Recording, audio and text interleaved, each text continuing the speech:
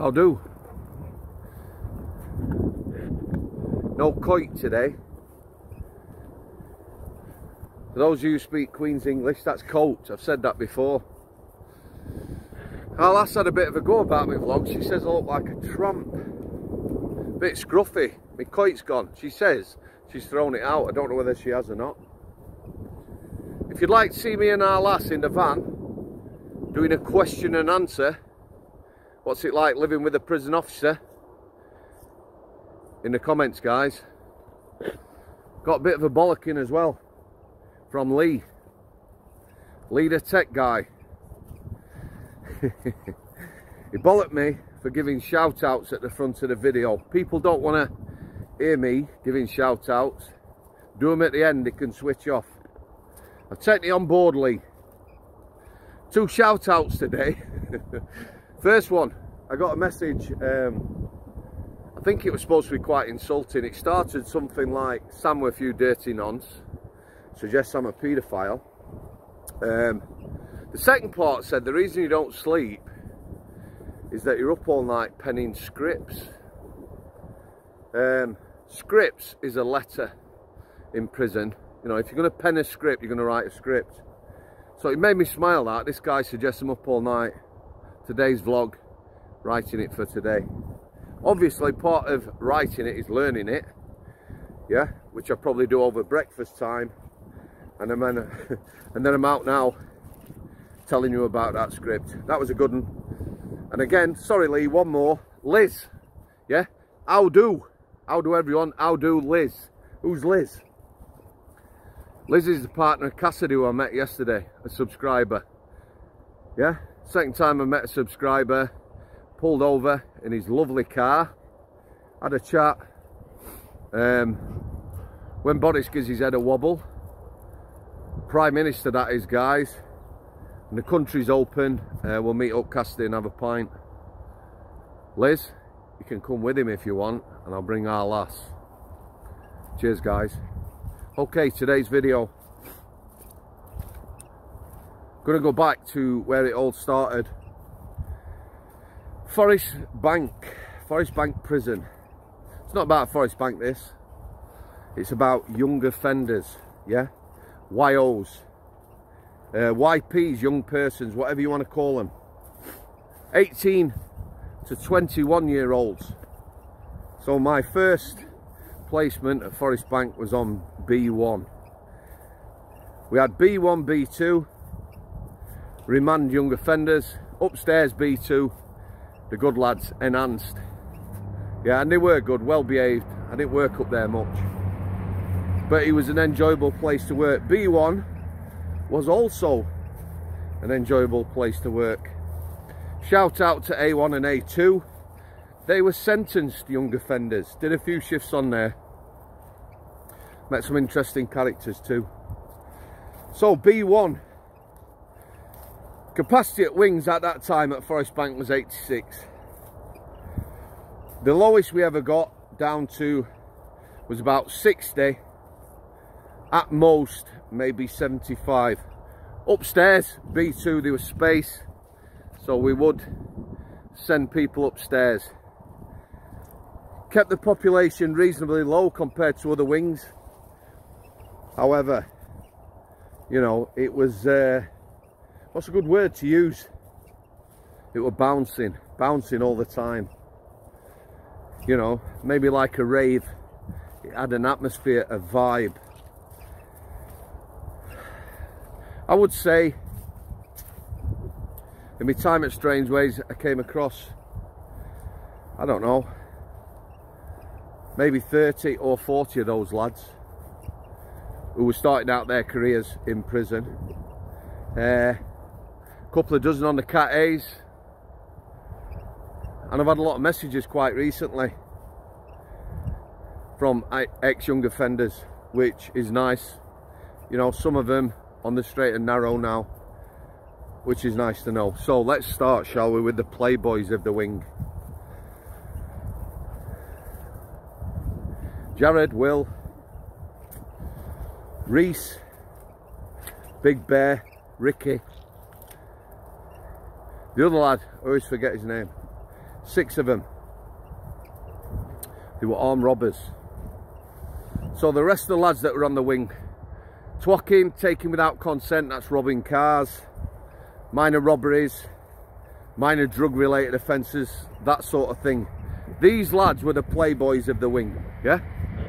Six of them, long conversations, got to know them really well. Will was on his second sentence at 18, he was the youngest, or maybe Ricky was equally as young. I think he did his first sentence at 13 for armed robbery. Something like that. The chats, you know, I'd ask them questions, robberies and stuff like that. They're thinking outside the box, these guys. They're not doing banks at Prestwich and in town centres. Using the noggins, you know, hitting places out of town, quiet places, places difficult for police to get to. But obviously, they're all in prison now. So they have been caught. These lads had pictures on the walls. I think Reese had, I'm not a car guy, I'm a motorbike guy, Carrera 4. Subarus, Evos. These guys owned them. Yeah? Lots of pictures, bikes, Yamaha R6s, sport bikes, things like this. Lots of young offenders and prisoners in prison have photographs on the walls of cars and motorbikes. Yeah? A lot of them don't own them. Pictures of other people's. They put them on the walls as though they're their own. There you go. The other guys all looked up to him. In the cell, again guys, come on. I was getting on a bit when I was at Forest Bank, I was in my 40s. In the cell, five, six pairs a night, 110, something like that. Playboys they were. Lots of lads on that wing went on to emulate these guys, these six guys, and become armed robbers. Sadly. Um, lots of other guys in there. There were guys in there actually, very sadly, who would later try to kill each other because of um, gang related issues. When I'm subject to gangs, when I come to Manchester, you know, I'm at Forest Bank, people are on about Doddington and Gooch, yeah? Yorkshiremen, I were clueless. I didn't even know what they were saying properly. I certainly didn't know how to spell them. It's only when I went on an escort through Moss Side and someone pointed out, you know, a road cul-de-sac, avenue, Gooch, Doddington. They were names of roads, these gang names. You know, you're born on one side at road, you're Gooch, you're born on other, you're Doddington. Two separate gangs. Yeah? The parents probably went to church together. Gang members, predominantly black. There were guys in there, Gooch and Doddington, who were padded up together, best mates later go on, like I say, try and kill each other. And some did, you know. There was probably three or four lads on them wings, I remember well. I didn't know the backgrounds, who are now dead, shot. You know, in Salford, in a petrol station, this sort of thing. Really, really tragic, really. Remember Bailey? Big lad. Yeah, saw him at Strangeways not long before I left. Excuse me guys, just let me, uh, not long before I left. Um, big lad, always remember him on basic regime. And I got on with these lads, I got on with these lads when I saw them at Strangeways. Just found it sad that they've all sort of gone on to become career criminals. I'm going to tell you a couple of gang stories. Um, at some point, I will do a, a, vlog. If you're not from Manchester, again, you might not be aware. Um, these two gangs, Doddington and Gooch. Gooch, massive trial. We had um, around seven people who were involved in that trial on K-Wing. Some, somewhere around 2005, 2007. Um, so two stories, not gang related as such, as in gang members, well one of them is, So a lad, I turns up for a night shift. I was asked to do a night shift. I was on a day off. Came into the healthcare when I was working there. At that time, we had a constant watch cell outside the main office. So I came in. There's nobody sat at a constant watch. So I went in the office. I said, you know, what, what's going on? You're here in case the nurses need to go in, I was told. Um, he's not exactly on a constant watch. He'd been brought into custody by the police. Um, you alright, mate? Been brought into custody by the police for his own protection.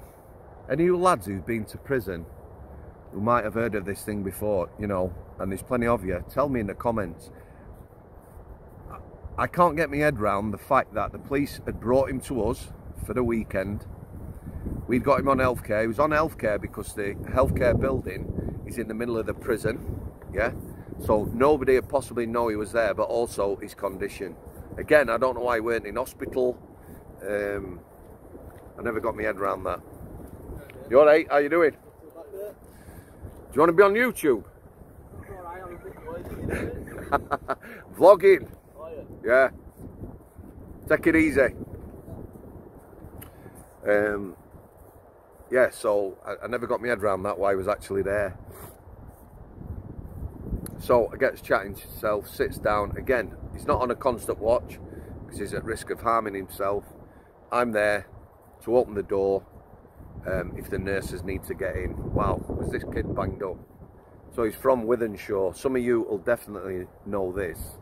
He had um, a gang tattoo on his arm that other gang members had tried to remove with a knife. Um, being stabbed, beaten with baseball bats. At some point, had a gunshot. Um, he was in a pretty bad state, really. Um, I think a couple of times in the nights, nurses went in just have a look at his wounds and stuff like that. So if you've ever heard of that, guys, you know, or prison officers maybe, like I say, he was there two days and he was gone. But when I got chatting, he decided that it was time to move on. He was in his early 20s. His missus was due to have a baby. And, you know, she'd given him the ultimatum, it's me or the gang. He chose her and very nearly paid the ultimate price. So, there you go. Second one. Uh, very, very sad this. I did briefly touch on this in my book. Um,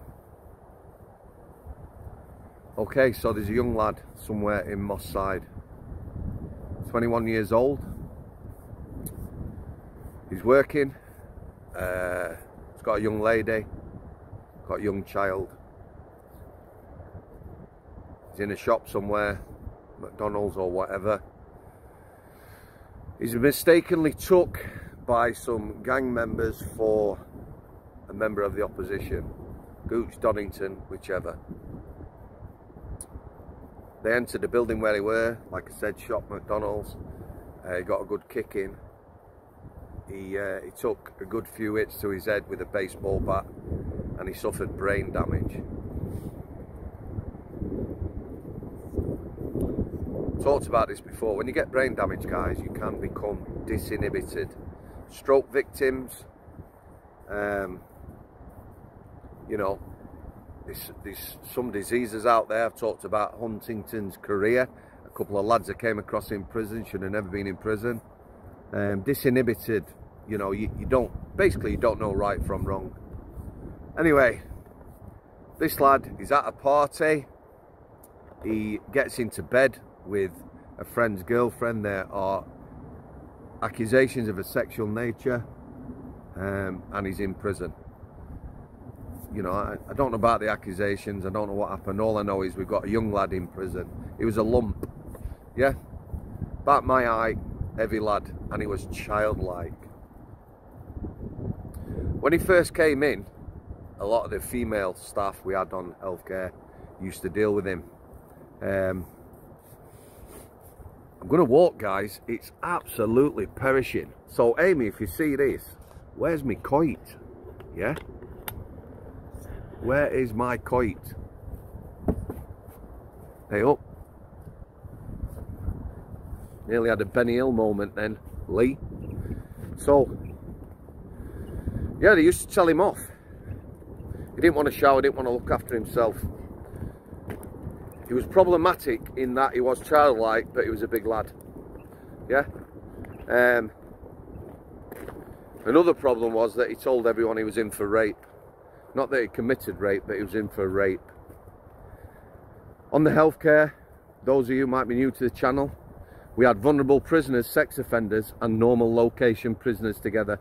Nowhere in prison rules does it say we can have them together. It was managed well, small number of staff, never any incidents. Never. While I worked on there. Very childlike. Anyway, we've been with us a while awaiting uh, place in a brain unit. Yeah? One minute, guys.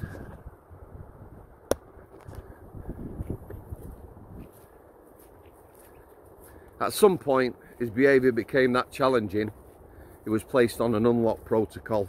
Again, that means a certain number of staff have to be there and he's not out with other prisoners. He was placed on a three officer unlock. Only ever had two, most of the time on healthcare. I went off annual leave for about a week, came back, he'd been locked up, not out of his cell much, smashed his TV, his mental health had deteriorated. He's already got brain damage, guys. Now I'm talking about his mental health. Weren't well. In a really bad place, in fact. So this is just before he got taken to this brain unit, specialist unit. In his final days, I tried to have conversations with him. Uh, one of the orderlies, cleaners, Jay, spent a lot of time at his cell trying to talk to him. So he's had brain damage. Yeah? He's got no TV, nothing in his cell. Smashed his cell up. And he's become mentally unwell and he's not getting out much. You can see where this is going. Like I say, last couple of days, gave him his canteen. You know, he had pop, uh, noodles, cereals, that sort of thing. He ended up flooding his cell, filled his toilet full of stuff. Um, he was still using his toilet, again, you know what I'm saying. His floor, floor of his cell, inch of water, noodles, Weetabix, pop, coffee, taking his cup, prison cup, drinking off the floor, you know, all this stuff that was down there, it stank his cell. Um, we actually took him out one day, cleaned his cell up, tried to get him in the shower, it weren't going to happen. It just ended up in restraint. Put him back in the same cell, still no TV. Blocked his toilet again. Probably his last day in Strangeways. Stood talking to him. One of them car crash moments, guys. Yeah. I stood at his cell. We had a little hatch that he could drop down. So I'm looking at him. He's looking through me. He's gone. Um, KK, my manager's walked past. I've said he's not well. So the world's going on around me, yeah. It was in the morning, there's staff in the office, people walking past. Could be quite a busy time on the healthcare in the morning. Other prisoners. This lad has got um, his prison cup, taking water out of the toilet. His toilet is full of everything, including excrement. Um, he's got a Quran in the sink. This isn't anything religious at all, this. He's just mulching it up. Big gobs full of... I remember, you know, balking me. I've got a strong stomach. Um, I've seen plenty of stuff. But I was almost gagging watching him. Dirty water. Big handfuls of wet paper. Jay, one of the orderlies, later told me, you know, Got a Bible in there as well and everything else. The had bought him the Quran. Um, I don't know what he was doing. Uh, I just remember watching him and I, and I remember going in the office and telling him, have you seen this guy? You know, he, he's got a Quran in the sink, he's eating it, dirty water. And it's not that people didn't care, it was just like, well, he's gonna he's gonna a brain unit tomorrow. You know. Spent quite a bit of time that shift that day, as did Jay, I would later find out. You know, just just trying to talk to him. Um, truly sad. So, went to a brain injury unit. They had to get kitted up in PPE. Uh, I think they got they got some lads in the actual tornado riot gear. Um, the guy who was checking him, uh, Scouse PO, officer, senior officer, principal officer, he was a principal officer. He was a good guy, I liked him. Mick, I believe he went back to work at Liverpool. Brad has explained state of play, where he was at, he'd had brain damage, mentally unwell. It was a struggle to get him on the van, cuffed, away you go. He's gone through his brain unit. Obviously I'm not on the escort. When they got there, the PO come back, told us about it. The brain unit was just like a home.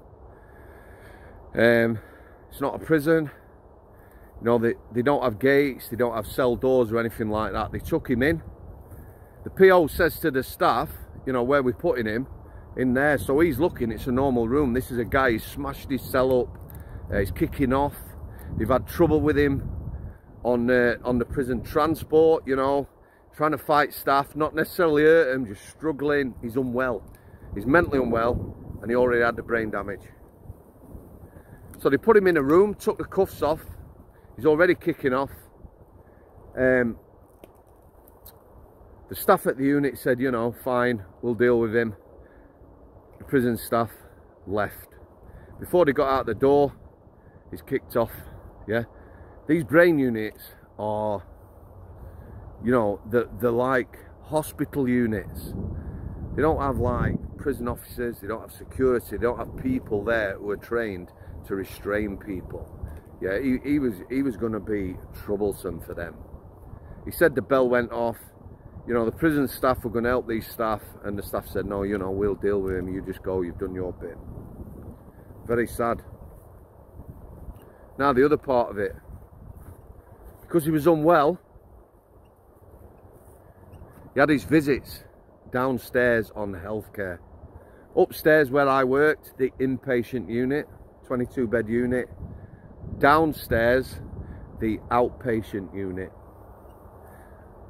So his mum would be brought up there, young lass, and he would have his visits down there. I'd take him down, he'd have a visit in a room, bit of privacy with his mum. I'd take him back upstairs.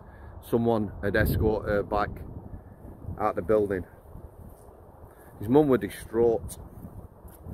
By the end, you know, no conversation out of him really, very agitated, you know, his mum would be in tears, physically upset, and why wouldn't you be? Uh, all things tragic, like I say. That's a life ruined, that. Young lad, all his life in front of him, working, young lass, young child, bam, gone, just like that. Gets a beating from gang members through mistaken identity. A lot of young offenders on B1 um, went on to be quite, shall we say, infamous. One recently, Stephen McMullen. I got on with that lad. He's another one. Went from sort of minor crimes to armed robberies. Stevie took it one step further. He actually escaped from prison transport. Him and another lad. Yeah. Prison transport's pulled over. They got off. Got recaptured. Got slammed. He was already in for armed robbery. I think he got 25 years. I'm quite sure he's recently appealed that and got a reduction in sentence. That's Stephen McMullen. I will come back to revisit some of them lads and their stories. Hope you've enjoyed this, guys. Um, questions in the comments. Lee is taking them all down. Question and answer a couple of times a month. If we get enough questions, one a week. If you like it, Tell us, tell us if you like the format. Yeah? Much appreciated, guys.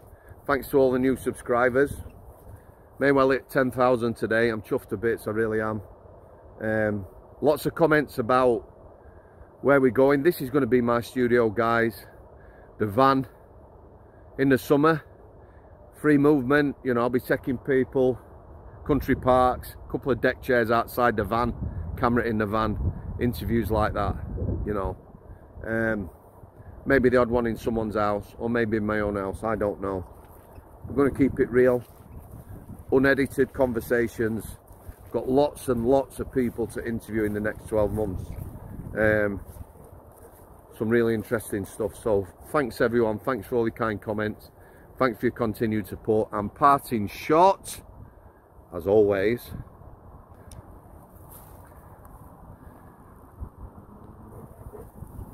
yeah. Cheers guys. Appreciated. Thanks for coming. How do guys? Just at home now as is often the case, um, you know, things just come into my mind and pop in. I'm going to tell you a few stories about B1, some of the lads I met on there. So, first one, a young lad called Begley. He was 18 at the time. Uh, he got a life sentence, so whole of life, Bridger Cregan, means they're never getting out. Life sentence, you get a tariff um, and a license. So the shortest life sentence I've ever seen was this young lad. He got 18 months for murder. So let me explain. He was 18, drunk. There was another lad involved, obviously, who he killed. He was 18, he was drunk. The other lad asked him for a cigarette. He told him to do one. They both had knives, never been in trouble before. They stabbed each other. Young Begley nearly died, the other lad did die. So he got 18 months for that, for murder. Yeah. Um, judge took the circumstances into account, took everything into account, 18 months. So that's young Begley. He was possibly, um, you know, quite a clean living young lad, other than carrying a knife. Maybe never been back inside, I don't know. That might have been his Scarborough warning. Young Bailey, the lad I met at Strangeways. He was uh, he was a big lad as a young offender. Got on with him, liked him. There was some gang involvement there, you know, but a lot, a lot of them I, I connected, you know, like a big kid myself. I connected with them young offenders. I got on with him. I remember, funny. I remember um, Christmas time. It's coming up to. He's on basic regime, which means he's on punishment. He's got. Uh, got no TV or anything like that. Borrowed a radio off somebody else, which you're not supposed to, but I let him. Very near bang up, so maybe quarter to eight, yeah. He's locked up, he's on basic regime, pressed his cell bell. So as I wander down to his cell, as I look in, turns the bell off. What's up, lad? Mr. Samworth, um, you're going to place me on report. Well, what's up? I can't tell you. If you can't tell me I'm going away. Mr. Samworth, you'll laugh. I won't, I promise. Miss Samworth, don't place me on report. Listen, Bailey, you know, just spill the beans. He says, will you come in my cell? There's an offer you can't refuse. Open the door, as soon as I opened the door, shot the bolt, I knew what the crack where you could stink it.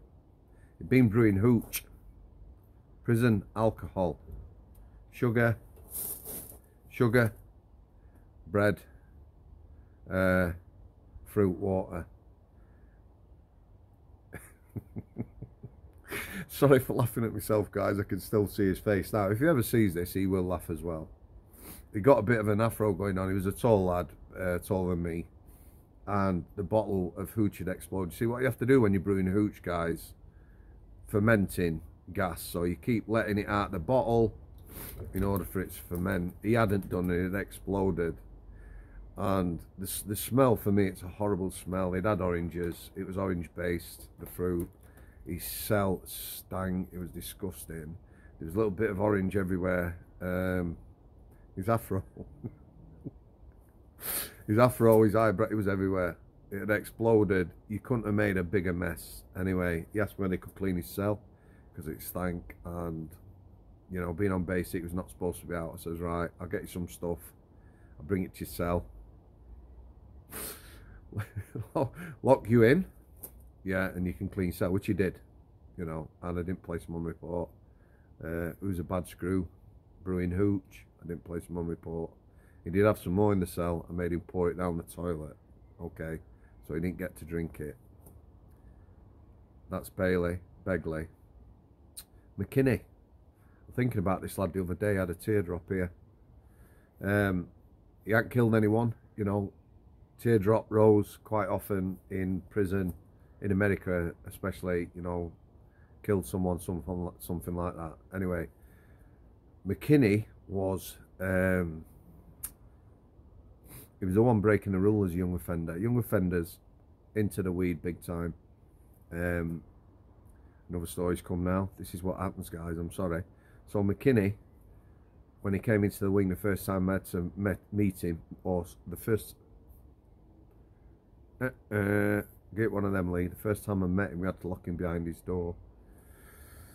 Um, he was into his heroin, smack, crack, whatever you want to call it.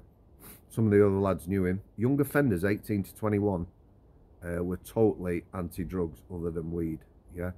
Uh, they called that the smackheads, uh, addicts, whatever you want to call them. Yeah, they used to call them out. This lad, the only one I ever met, Forest Bank, 18 months, lots of lads in and out who was taking heroin and we had to keep him banged up most of the time because he did take heroin. I would later see him as well uh, at Strangeways. So that was McKinney. It's just just the drugs things that just you know that age gap they weren't into it. Sadly, again, some of them lads later in life will be on H&I wing, detox wing on methadone at Strangeways, but at that time, on the whole, just weed. Okay, who was the other guy I was going to talk about? Daniels. Daniels, big lad. Um, these lads outside, right, pretty much I never knew why they were in prison, what they were up to, or anything else. All I can tell you is I knew them at Forest Bank. I got a relationship. They knew what I was like. Again, you know, uh, I'd have a laugh with them, get on with them. I weren't an on-top screw officer, guard, whatever you want to call me. I weren't on top. Yeah, used to have a laugh, and you know, I, I don't know whether they respected me, liked me, or whatever, but that carried on later at Strangeways. So Daniel's another big lad. I remember him mostly at Strangeways. I do remember him at Forest Bank. He is a lad. Um, he had three brothers shot and killed separate times because of their involvement in whatever, I don't know. Uh, numerous attempts on his own life. Um, at one point, I know his mum got shot uh, because of who he was. So, you know, it's a dangerous world some of these lads are mixing. But Daniels comes to mind because just before I left Strangeways, so it's in 215, I walked up onto visits. Um, I was working on A-Wing at that time. This is how it changed, guys, the prison system for me. The visits hall at Strangeways, plenty of people have been through it, uh, prisoners and loved ones. Plenty of staff worked up there. It was a big visits hall, really big area. Um, it's when I first went, it was well monitored. A lot of staff have worked there for a long time. Overhead cameras. Uh, you had lids on your cups, so nothing could be put in your cup and passed over. You could embrace, you know, hug your loved one when they came on a visit, embrace them when they left. Nothing on the tables. There was a little Berlin wall, yeah, in between. Yeah, you had to keep your hands one side, your visitors the other. Kids and that occasionally to be put on the table you know put little kids on the table visit staff you know take them off. But the visit staff were really good. Um, used to get called out that group of uh, prison staff for being lazy or whatever. It weren't a job for me. I didn't mind doing it on overtime. Um, long term and i got bored. You know in the room You might be in the room, the visits room, four hours with a mic, listening to a cameraman, keeping your eyes open. Total boredom. However, you know, they did a really good job. This is 215. Yeah, so the visits group as such has gone. So it was made up of staff from the wings now and a few visit staff. Um, walks on to visits. Very few visits. Uh, one row. There was what? Maybe four rows of tables. You know, it could hold the visits hall when it were full with prisoners and their loved ones. Maybe, I don't know, 150, 200 people. It was a big place. Anyway, it's just one row of visitors. Uh, maybe eight lads at tables with their loved ones. Daniels, boom, saw him straight away. Uh, what are you doing up here, Samuel? Straight away, nervous. See his knees going up and down, leg wobble. Aye, aye, what's he been up to straight away? It was obvious, you know, he looked nervous. Officer approached me, there were five officers upstairs. I've talked about this before, having bottle in a job. You don't need bottle to be a prison officer. When it becomes a challenging place to work, like the whole of the prison service, when they became short-staffed, um, if there's no one working in an area with no bottle, then people didn't get challenged. These five staff, a couple of decent officers amongst them, some of them were, you know, uh, not so good, shall we say. Let's keep it pleasant. But there's five of them, yeah? This guy approaches me. I liked him. Didn't have no bottle, but got a big heart. And I would have him on my team in my prison. Only one of him, though. No more. He says he's he's plugged I said, sorry. He says, he, he's plugged, that lad. I says, Daniel? He says, yeah. I says, why aren't you pressing the alarm bell? Um, we didn't want to cause any bother. This is visits at Strangeways. Right, let me tell you what have happened. Yeah. Somebody receives on a visit, yeah, there's not even many people there. So the cameras should have been on them people. Somebody receives, you hit an alarm bell, you try um, bear in mind that sometimes the hall might be full. You would try and stop that person plugging, which is receiving an item and putting it up the backside. You know, they might well put it in the underwear first. Um, if staff are on the way over, they would try and get it up inside. Once it's inside, game over. You know, you're, you're not getting that back. They might end up in the segregation unit, but you're not getting it back. The other thing is, if you do get it, and on camera is a visitor who's passed that parcel, drugs or phone, the visitor is then looking at prison. So that's serious shit. So I said, when you do this 15 minutes ago, there's five staff. He's received a parcel, Daniels. It'll be well up now. Yeah, well out of sight. Done nothing. So what did I do? Nothing. At that point, 15 minutes, I've seen nothing. Yeah. If the troops had arrived, they would have gained nothing yeah because whatever he received is well up his jacksie. So I goes downstairs. Um oh, oh that's it. I've been sent over just to help at the end of the shift. Went downstairs this young lass downstairs on her own new to the job. So there's five guys upstairs young lass downstairs. What happened as people come off visits um they would come downstairs searched in a holding cell then taken back to the wing a percentage of those will be strip search. But she's on her own, yeah. Um, she looked terrified. Anyway, I goes downstairs with her, waiting for the visitors to come off. We would have searched them together, put them in a holding cell back to the wing. Daniels comes down, knock on door, yeah. So they'd let him down. So no one's escorted him down, he's plugged something. No one's escorted him down, he's come down on his own. So there's me and this lass. So I knew what crack were with me coming. I said strip search. He knew he was going to be strip searched. Here's the thing. I said to this young lady, you obviously don't want to come in here. And she went, no, I don't. So I went in to strip search him on my own. Put yourself in a position there, guys. Yeah? He could say I'd assaulted him. Grabbed his manhood. Could say anything. Yeah? We've got dynamic security. I know the lad. I know him really well. He knows the score if he hadn't plugged whatever he'd received right up on the visit, coming down the stairs, it will now be gone. It'll be tickling his tonsils. So he came in this room, yeah, dynamic security, I know him. What's up, Worth? He used to call me Worth. No problem with that. Everything off, yeah. Didn't ask. He's facing a wall.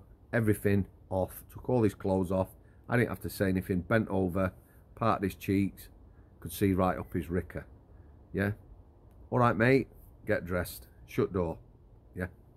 Um, he came out. I took him back to the wing. Hold on a minute. Prison officer here. Yeah. Somebody's received on a visit and you've taken him back to the wing. Of course I have. Yeah. He's not going to the seg. There's been no alarm bell, no nothing. Yeah. Security PO, principal officer, comes down 15 minutes after I'd taken him back to the wing. Mr. Samworth, you're alright? I got on with him. Got a lad who's plugged. Yeah. Where is he? Back on the wing. You've taken him back? Yeah. Why? No alarm bell. No paperwork. Staff didn't challenge him. I couldn't see anything. Full strip search. He went, fair enough. And he's gone. He was same as me. Nothing you can do. Yeah. So, there you go. And that was Daniels. Alright, guys. Um, hi. Come on in.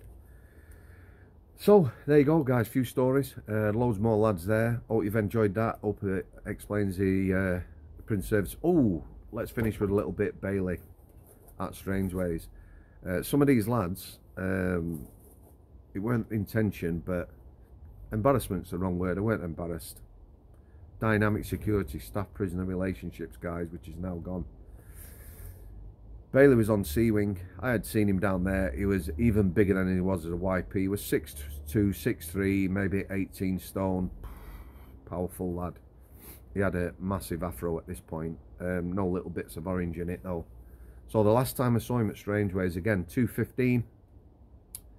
Um, I've been asked to go from A Wing, where I worked, induction wings. This is my last three weeks, to C Wing, the moving one to the SEG yeah, and they expected him to kick off. I didn't know it was Bailey. I went on the wing, uh, know, maybe eight, ten staff outside a cell. So someone's talking someone through the hatch. Yeah, door opens, uh, and it's Bailey stood in doorway. He filled the doorway uh, with his big afro. Uh, totally blanked everyone. Yeah, he was told to come out of the cell. He will be placed in cuffs and taken to the seg. You come out of the cell, yeah, brass as you like, walk past a couple of officers, held his hand out. You're right, Mr. Samworth. You know, naturally, I held mine out, shook his hand. All the staff are looking at me like, what the fucking hell? Are you going? All right, are you off at SEG? Yeah. Are you going to fight? He goes, nah, Mr. Samworth. I'll talk to you one way. And that's what he did. He was cuffed. Um, you know, you could feel eyes burning into the back of my head. But there you go, that's dynamic security, yeah? If they'd have asked me on the wing, or I'd have been on the wing, and they said, look, we need to take him, it'd have been one of them, look, lad, you've got, boom, it's done, yeah? Staff prisoner relationships, they don't exist anymore. Anyway, sorry if I've waffled on, hope you've enjoyed it. Um, cheers and thanks for coming, guys. Sorry about the lighting, Lee. Obviously, it's going dark, but there you go. Deal with it. That's what you get paid for. Cheers, guys.